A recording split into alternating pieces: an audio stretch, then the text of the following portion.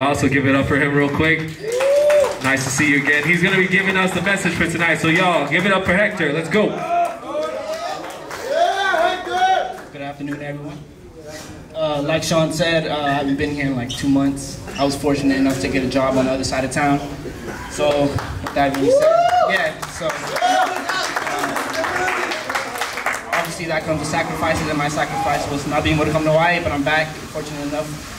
Um, so I'm gonna keep this real sweet and short, but um, over the last two months, it's something I've been trying to develop, is um, acknowledging your failures.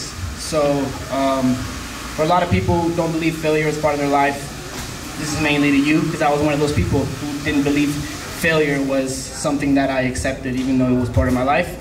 Um, I've grown to accept failure, and it's those moments where you reach the bottom that you realize you can only go up right? So once you uh, accept those failures and you accept to yourself, you know what, I failed.